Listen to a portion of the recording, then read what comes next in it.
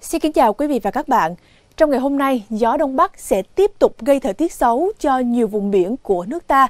Biểu hiện của cường độ gió mạnh đó là những đường màu vàng dày xít trên bản đồ như thế này.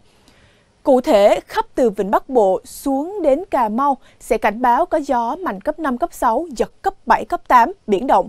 Ngoài khơi huyện đảo Hoàng Sa thì còn có gió mạnh đến cấp 6, cấp 7, giật cấp 8, cấp 9, biển động mạnh.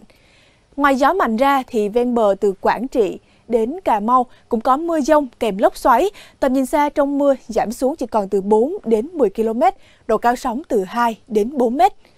Trong khi đó, ở huyện đảo Trường Sa thì có gió mạnh cấp 4, cấp 5, nhưng dự báo trời có mưa dông, có thể đi kèm lốc xoáy và gió giật mạnh nguy hiểm. Khi thấy mưa dông kéo đến thì bà con nên hạn chế các hoạt động đánh bắt gió mạnh và sóng cao, bà con cần chủ động các biện pháp an toàn trên biển như là mặc áo phao cứu sinh, không làm việc ngoài bông tàu khi mà trời mưa dông, chằng buộc các hàng hóa, ngư cụ tránh rơi xuống biển. Bản tin của chúng tôi đến đây là kết thúc. Xin kính chào và hẹn gặp lại quý vị.